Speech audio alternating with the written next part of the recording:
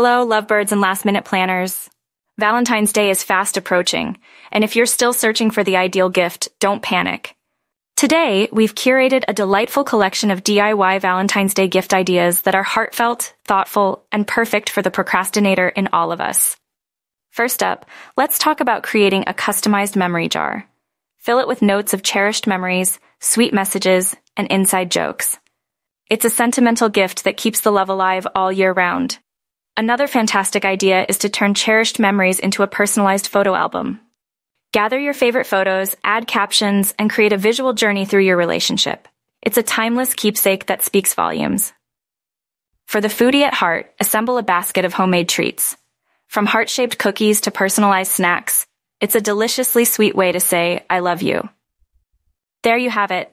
Thoughtful DIY gifts for the perfect Valentine's Day surprise. Like, subscribe, and share the love. Happy crafting and happy Valentine's Day.